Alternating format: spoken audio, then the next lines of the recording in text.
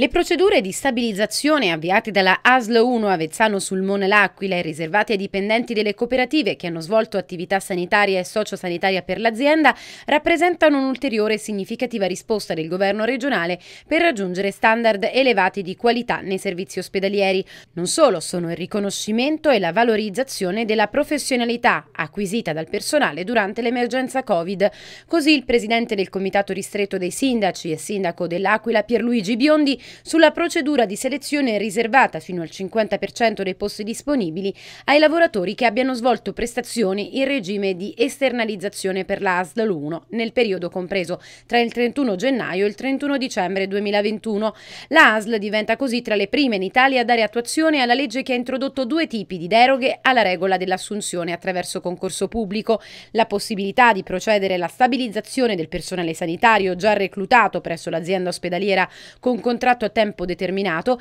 e la facoltà di bandire una selezione per quelle figure professionali, dipendenti di cooperative sociali, impegnate nell'erogazione di assistenza ai pazienti psichiatrici affetti da dipendenze patologiche, disabilità, disturbi dello spettro autistico, solo per fare alcuni esempi. Un segno importante da parte della Giunta Marsilio e della direzione provinciale che stanno affrontando in modo strutturale la carenza di personale sanitario, ha aggiunto Biondi. I bandi saranno pubblicati nelle prossime settimane, come si evince evince dalla relazione che la direzione dell'azienda sanitaria ha rimesso al presidente del comitato ristretto. Saranno stabilizzate circa 80 unità di personale tra precari della ASL 1 e internalizzati.